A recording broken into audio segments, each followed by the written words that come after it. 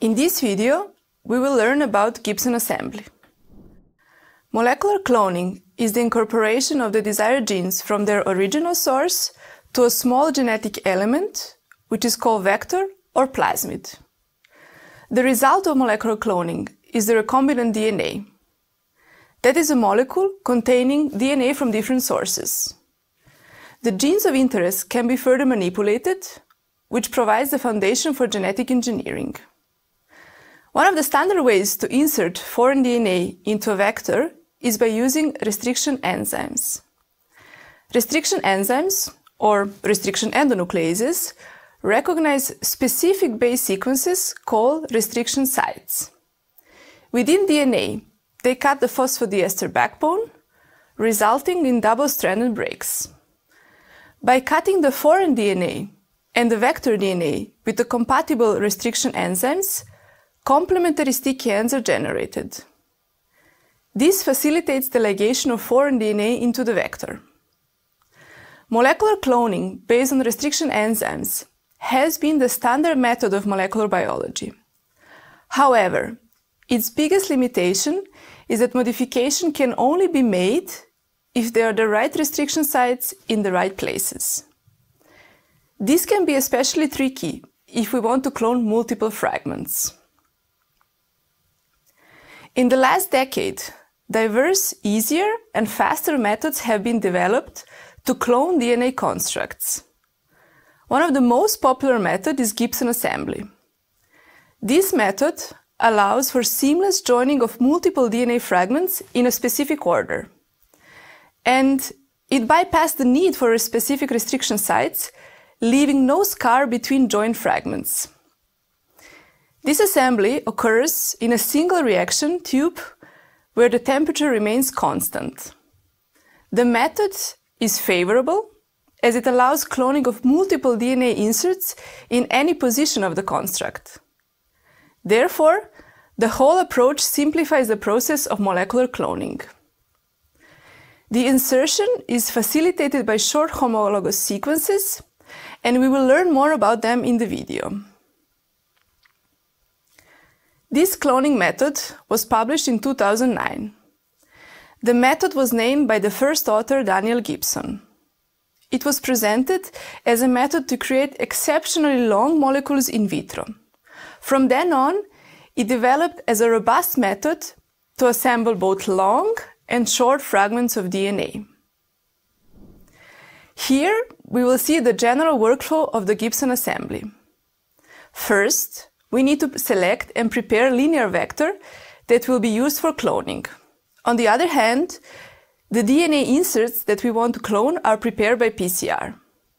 After the PCR reaction, at their ends, inserts contain 20 to 40 base pair overlapping regions. These will enable the proper assembly.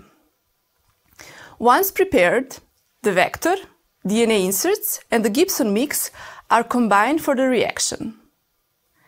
The Gibson mix contains, in a single tube, three enzymes, a 5' exonuclease, a DNA polymerase, and a DNA ligase.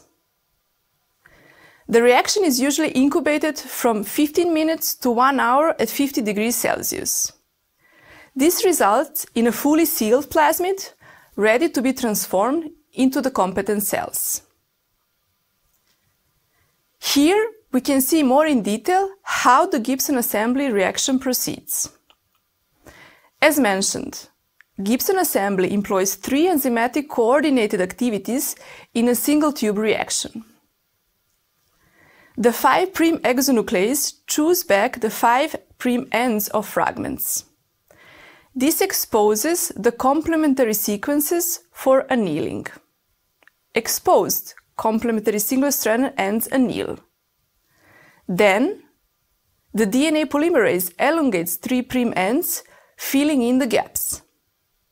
At the end, DNA ligase seals the nick and covalently links the DNA fragments together. The reaction is designed to occur at 50 degrees Celsius. the enzymes were selected because of their stability and sufficient activity at this temperature and pH.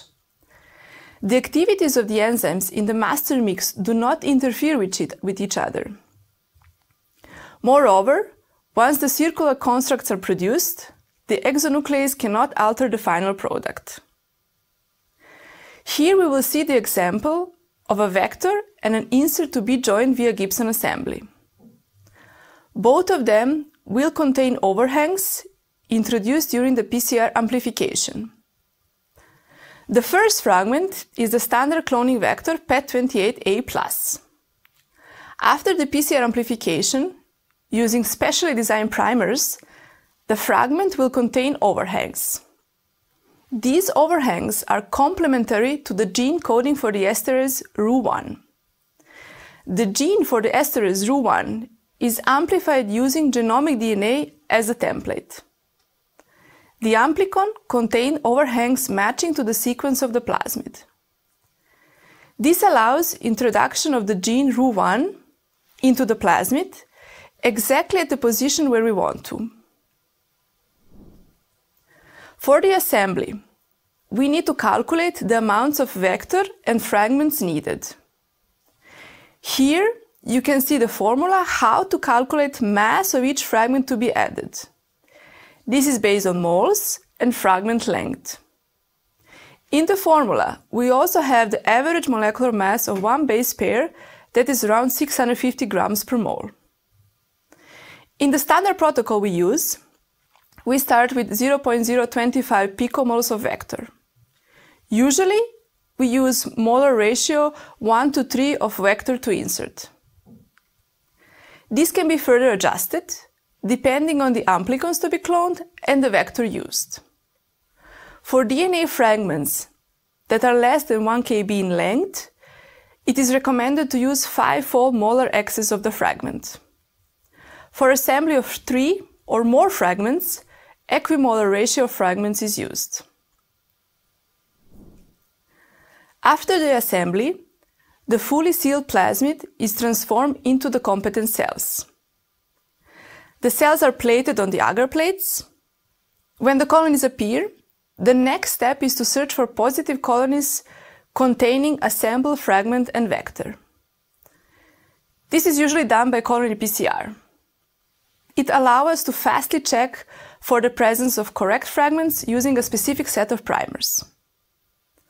Further on, to check the results of colony PCR, we perform a standard gel electrophoresis. Finally, here is an example of results of colony PCR reaction after running a gel electrophoresis.